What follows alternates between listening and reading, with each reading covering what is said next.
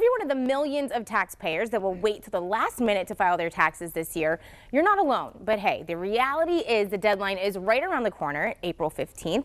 H&R Block Senior Tax Advisor Andrew Wagner is here to tell us what we need to know about filing this year. So Andrew, what are some of the reasons that people wait and push it off to the very last minute? Well, you really just have two different types of people. You've got your people that are natural procrastinators and they're just going to procrastinate at anything no matter what it is in life. And then you have people that fear the process. They just fear doing their tax return. It scares them to death. Uh, a lot of times people think they're going to owe. Uh, they just make that assumption. And so they say, screw it, I'm not going to actually file my tax return.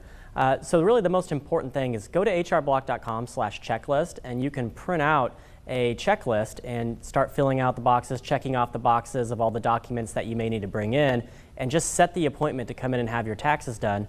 First off, someone else is doing it for you, so you're not actually doing the work, you're just bringing in the documents. But then also you might be surprised, maybe you wind up with a refund.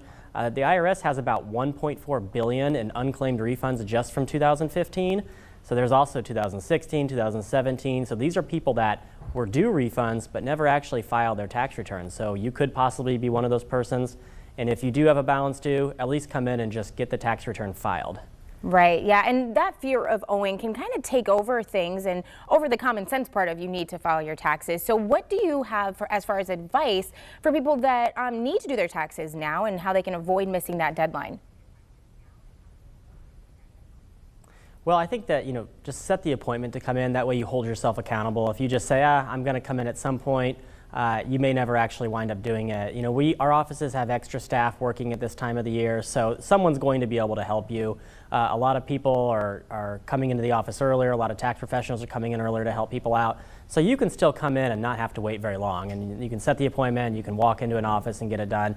You could also use something called Tax Pro Go or Tax Pro Review where you start the return from hrblock.com and upload it to a tax professional. That way you don't actually even have to leave your, your house. But if you do, if you're one of those persons that has a balance due, there's a 5% penalty on your balance due per month that you don't file. So even if you owe and you cannot pay your balance due, at least get the tax return filed and then we can help you set up a payment plan to the IRS while we're doing your tax return. That way you can start making monthly payments and you don't have to come out of pocket to pay the IRS anything that day. Perfect. Now, Andrew, I know for me in the past couple of years, I've been nervous to do them just because, like you said, it's overwhelming and you're so afraid of making a mistake. So what are some of the common mistakes that people make when filing their taxes? Well, some of the common mistakes people make are credits for taxes paid to other states. So, uh, for example, if you live in Georgia, work in Mississippi, uh, maybe you have taxes paid to Mississippi and you're gonna, you can claim them on your Georgia tax return as a credit for taxes paid to another state. So people miss that quite a bit. Also, if you have a dependent in college, sometimes people will not realize that they can claim that dependent. Uh, you can claim a, a kid in college up until they're 24 as long as they're a full-time student.